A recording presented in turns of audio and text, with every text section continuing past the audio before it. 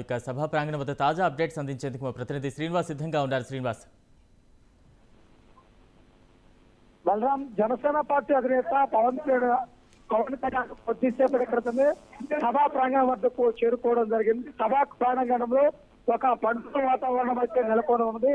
ఎప్పుడెప్పుడు ఎదురుస్తున్నటువంటి తమ అధినేత సభా ప్రాంగణం రావడంతో జనసేన పార్టీ కార్యకర్తలు ఆనందం ఆనందం వ్యక్తం చేస్తున్నారు. ముఖ్యంగా చూస్తే మంగళగిరి జనసేన పార్టీ కార్యాలయం నుంచి బయలుదేరినటువంటి పవన్ కళ్యాణ్ రోడ్డు మార్గాన సభాస్థలానికి వస్తున్న మార్గంలో ప్రతి చోట కూడా జన నిరాచరం కలిగినటువంటి పరిస్థితి జరిగింది. ముఖ్యంగా చూస్తే మంగళగిరి నుంచి ఏటుకోడు ఏటుకోడు నుంచి ఆ నల్లబాడు నల్లబాడు తర్వాత పేరేచర్ల పేరేచర్ నుంచి ఆ నందిగా మాట్లాడు ఇలా సత్తనపల్లి సత్తనపల్లి నుంచి వెన్నాదేవి ఇలా ప్రతి చోట కూడా పవన్ కళ్యాణ్కి పూల వర్షం కురిపిస్తూ కూడా జగన్ పలుకుతూ కూడా పవన్ కళ్యాణ్ ముందుకు సాగడం జరిగింది.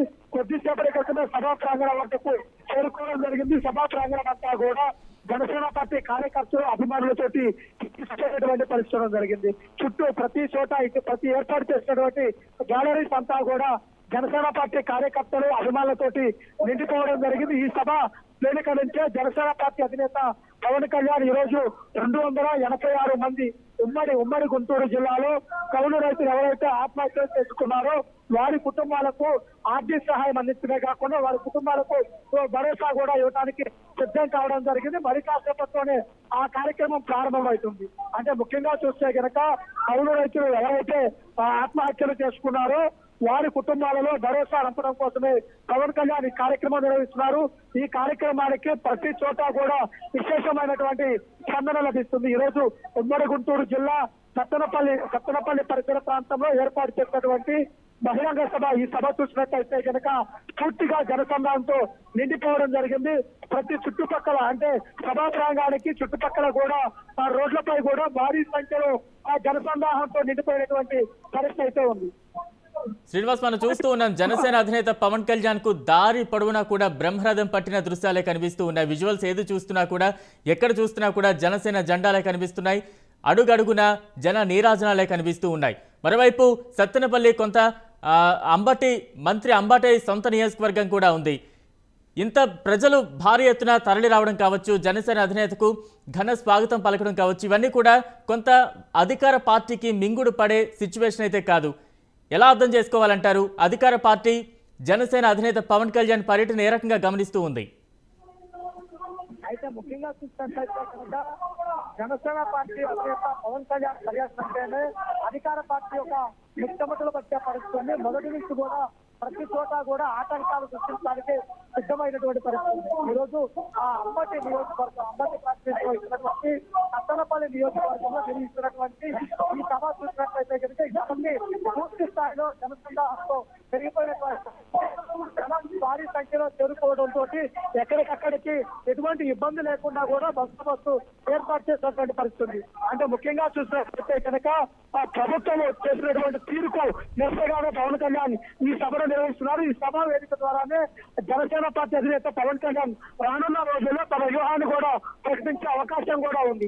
అయితే ప్రభుత్వం ఎన్ని ఆంక్షలు పెట్టినా కానీ పవన్ కళ్యాణ్ వాటి దాటుకొని కూడా సమాస్థలానికి చేరుకున్నారు ఇక్కడ తాను చెప్పదలుచుకుంది తాను ఎటువంటి భరోసా అయితే ఇవ్వదలుచుకున్నారో ఆ భరోసా ఇవ్వడానికే సిద్ధం కావడం జరిగింది. శ్రీనివాస్ అయితే సభా వేదికగా అధికార పార్టీకి చెందిన కొంతమంది నాయకులు జనసేనలో చేరికలు ఉండబోతున్నాయి భారీ ఎత్తున పవన్ సమక్షంలో అంటూ కూడా కొన్ని వ్యాఖ్యలు వినిపిస్తున్నాయి. దీనికి సంబంధించి ఏమైనా అప్డేట్స్ ఉన్నాయా? చూసినట్లయితే గనక సభా వేదికకి సంబంధించి పూర్తిగా సభా వేదిక పైన వైట్ కార్నర్ ఏర్పాటు చేసి రాజకీయాలకు తావులేని విధంగా కూడా ఇక్కడ ఏర్పాటు చేయడం జరిగింది. ముఖ్యంగా కౌలు రైతు కుటుంబాలు ఎవరైతే ఆత్మహత్యలు పాల్పడ్డారో వారందరినీ కూడా ఒక్కొక్కరిని కూడా స్టేజ్ పైకి తీసుకొచ్చి ఒక్క చోట కూర్చోబెట్టి వారికి భరోసా ఇవ్వడానికి కార్యక్రమం ప్రారంభమవుతుంది. అంటే మరి కాసేపట్లోనే జనసేన పార్టీ అధినేత పవన్ కళ్యాణ్ సభా వేదిక వద్దకు చేరుకొని ఇక్కడ ఉన్నటువంటి జనసేన పార్టీ కార్యకర్తలు అభిమానికి సందేశం ఇవ్వడంతో పాటు ఆత్మహత్య చేసుకున్నటువంటి కుటుంబాలకు కూడా ఒక భరోసా నింపే ప్రయత్నం అయితే చేస్తున్నారు. రైట్ థ్యాంక్ యూ శ్రీనివాస్ మొత్తంగా కొద్దిసేపటి క్రితం ధూళిపాళ్ళలో కౌలు రైతు సభ వేదికకు జనసేన అధినేత పవన్ కళ్యాణ్ చేరుకున్నారు. మరి కాసేపట్లో సభ ప్రారంభం కాబోతోంది. సుమారుగా ఉమ్మడి గుంటూరు జిల్లాలో రెండు వందల ఎనభై కౌలు రైతు కుటుంబాలలో భరోసా నింపే ప్రయత్నం చేస్తుంది జనసేన. అందులో భాగంగా ఒక్కో కుటుంబానికి లక్ష రూపాయల చొప్పున జనసేన అధినేత పవన్ కళ్యాణ్ తన సొంత నిధుల నుంచి కేటాయిస్తూ ఉన్నారు. మరి కాసేపట్లో సభా ప్రాంగణం మీదకు జనసేన అధినేత పవన్ కళ్యాణ్ చేరుకోబోతున్నారు. మంగళగిరి పార్టీ కార్యాలయం నుంచి సత్తెనపల్లి వరకు కూడా దారి పొడవున జనసేన అధినేత పవన్ కళ్యాణ్కు బ్రహ్మరథం పట్టారు. పార్టీ నాయకులు కార్యకర్తలు అభిమానులు పెద్ద ఎత్తున జనసేనను జనసేనాని చూసేందుకు పెద్ద ఎత్తున తరలివచ్చారు. అడుగడుగున జన నీరాజనాలు పలికారు. అయితే మంత్రి అంబటి సొంత నియోజకవర్గంలో ఈ సభ జరగబోతుండడం కూడా కొంత ఉత్కంఠకు ఉత్కంఠను రేపుతోంది. ప్రస్తుతం సభా ప్రాంగణం నుంచి కార్యక్రమాన్ని లైవ్ ద్వారా చూస్తూ ఉన్నాం. ఏ రాజకీయ నాయకుడైనా ఇలా చేశాడా అంటే ఇలా చేసిన నాయకుడు ప్రపంచంలో ఒకే ఒక్కడు ఉన్నాడు అతను పవన్ కళ్యాణ్ గారు. అటువంటి అటువంటి నాయకుడిని కాపాడుకొని ఆదరించి ఆయన ముఖ్యమంత్రిని చేయవలసిన బాధ్యత మనందరిపైన ఉంది. ఎందుకంటే ఒక్కసారి అటువంటి వాడు ముఖ్యమంత్రి అయితే ఈ రాష్ట్రం అభివృద్ధిలోని మన నంబర్ వన్గా ఉంటుంది. దోపిడీల్లోని అరాచకాల్లోని మానభంగాల్లోనే కాకుండా అభివృద్ధిలో నంబర్ వన్గా ఉండి అలాగే యువశక్తికి యువశక్తికి ఆయన కొత్తగా జనవరి పన్నెండవ తారీఖుని యువత భవిష్యత్ అని చెప్పి యువత భవిష్యత్తు గురించి ఒక బృహత్తర పథకంతో రాబోతున్న పవన్ కళ్యాణ్ గారికి అందరి ఆశీస్సులు అందరి అభినందనలు ఉండాలని కోరుకుంటూ ఇక్కడికి వచ్చిన రైతు కుటుంబాలందరికీ కూడా మరోసారి నేను సమన్యంగా నమస్కరించుకుంటూ సెలవు తీసుకున్నా ఎందుకంటే ఇటువంటి కార్యక్రమంలో పాల్గొని నేను డాయస్ మీద ఉండడం కంట మీలో ఒకటిగా ఎప్పుడు నేను వెనకతలు ఉండడం నాకు ఇష్టం.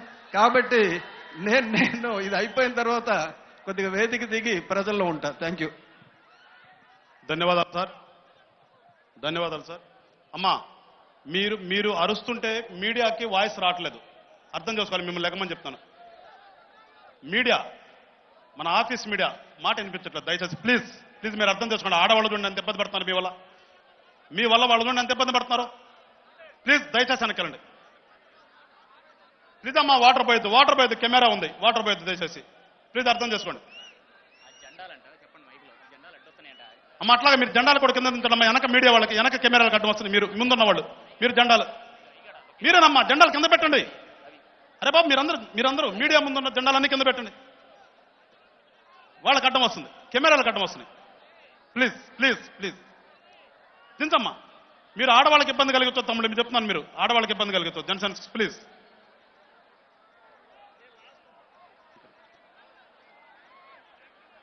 ఇప్పుడు రాష్ట్ర సెక్రటరీ అయినటువంటి శ్రీ నాయబ్ కమాల్ గారిని మాట్లాడాల్సిందిగా కోరుతున్నాం.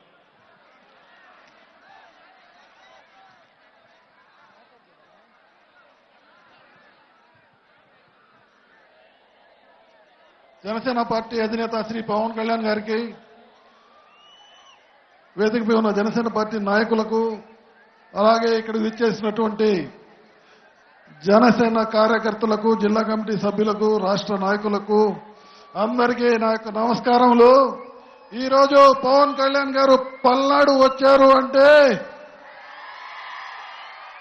దాని కారణం రైతుల పట్ల ఆయనకు ఉన్న ప్రేమ మక్కువ ఆయనలో ఉన్న మానవత్వం. లాల్ బహదూర్ శాస్త్రి గారు ఒక మాట అన్నారు. జై జవాన్ జై కిసాన్. ఎందుకంటే సరిహద్దుల్లో దేశాన్ని కాపాడే జవానులు మరియు దేశం ప్రజల పొట్ట నింపేందుకు పొలాల్లో పంట వేసి పండించే రైతులు వీళ్ళిద్దరూ దేశానికి వెన్నుముగా అన్నారు. ఈ ఇద్దరిలో ఒక్కళ్ళు వినికైనా వెన్నుముక విరిగిపోయింది ఉదాహరణకి సరిహద్దుల్లో మన సైన్యం లేకపోతే ఏమైతే శత్రు దేశాలు మన మీద దాడి చేస్తాయి దేశమే అతలాకుతలం అయిపోయింది వాళ్ళక్కడ రాత్రింబౌళ్ళు కాపలా కాస్తున్నారు కాబట్టే మనమంతా ప్రశాంతంగా సుఖంగా బతకగలుగుతున్నాం దేశంలో. అలాగే కష్టమో ఇష్టమో నష్టమో పడి రైతులు పంట వేస్తుంటే మనమంతా పట్టనిమ్ముకుంటున్నాం అదే రైతులు ఒక్క సంవత్సరం కనుక పంటకి క్రాప్ హాలిడే ప్రకటించి ఎవరు పంట వేయకపోతే ఏమైంది?